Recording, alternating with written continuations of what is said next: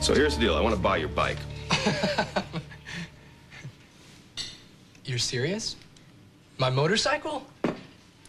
Well, I did have my eye on a cherry red walker, but Grandma beat me to it. Have you ever actually been on a bike? You know how hot this is? Okay, okay, okay, okay. Let me rephrase that. When was the last time you rode one? Let's see. Who was president back right, then? I don't think this is a very good idea. No, you can check me out. You know, if I need some pointers, you can give me some pointers. Well, I am sort of under strict orders to get rid of it. Look, it'll have a fine home. You can you can give me a, a refresher course if you want. Mister, I think you got yourself a bike. Of course, this refresher course will, will have power slides in it, Oh, right? yeah, I wouldn't have it any other way. Yeah, you got a deal. How many miles is that one? Oh, wait a minute. This is a scary sight. Which one of you bought the Brooklyn Bridge? Actually, Sam just sold me his bike, so I think congratulations are in order. I think a head doctor's in order. Aren't you scared of that thing? No, he'll get me up to speed, and you'll get visitation rights. No, no, he won't. Nice try. Enjoy your bike. Oh, I intend to. I'm, if I'm mangled up, I might as well have fun doing it. You know, I really shouldn't get rid of it until I've given you a ride. You know, the $7,000 ride through the gymnasium, that was plenty for me. Thanks. Ouch. Care to join me? I didn't feel like having breakfast alone at the apartment this morning. Well, it's good to know you're not inviting half of Springfield over while I'm gone. Mm, gone you were. Gone, gone, gone, gone, gone. So, is the coffee that good, or do you have something you'd like to tell me? What? What? Uh,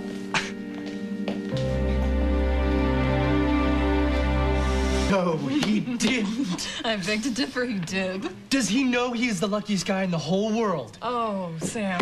No jokes. No jokes, I mean it. Thanks. Thank you. Wow, and New Year's? Yeah. That, but that's right around the corner. I know, it certainly is. But that hardly gives me enough time to rent a tux. Well, there's no reason for Josh and I to wait, Sam. Oh, I, I never said there was. Well, no, Olivia. not directly. Would it be that bad to wait a little? Um, Why? Why should we wait? This is something we both want. You know, a nice, simple wedding. Sooner, the better. Simple, as in I don't need to rent a tux. Well, you do if you're going to walk me down the aisle. I hope this is everything you want and more. You've earned some happiness. I, I wish you all the happiness in the world.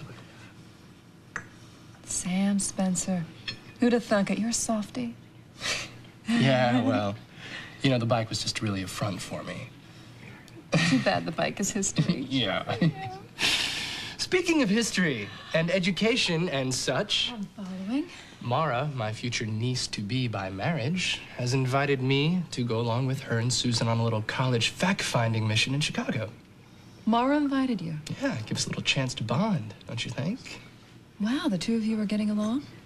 Hey, who can resist the Spencer charm? Wow, and college? Hey, looms as a distinct possibility. Wow, this day is just getting better and better and better. Olivia, how nice to see you. You too. I want you to meet my brother Sam. Oh, hello. How do you so do? Much about you. Yeah, you know, I'm a big fan of yours. Oh, Yeah, I followed your editorial on the Spaulding Spire project. Oh, you have. Yes. And if I may, I think you're an excellent writer. You may. Thank you. I'm always entertained by how you can reinterpret facts to fit into your editorial. It's a real gift. Congratulations Thanks. again. Thanks, sweetie. Ladies? Did he just? Yeah, you know, he's smooth as silk. I adore him, but I have to stay on my toes around him. I can see why. So, should I be congratulating you as well? Sure, if you'd like. You're not going to tell me, so I should ask why. I'm getting married.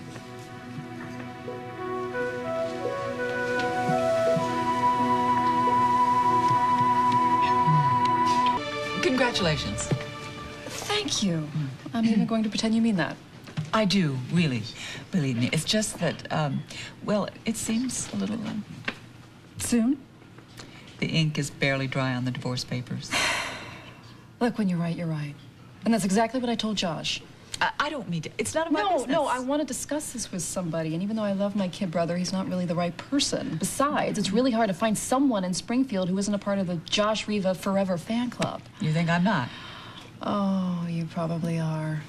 Well, Alicia said congratulations. Look, it is an awful time, okay? Which is why I tried to dissuade him. You did? Yes, I did. Holly, I, I've been in love with Josh for a long time knowing that he doesn't feel the same way about me. How did you manage that?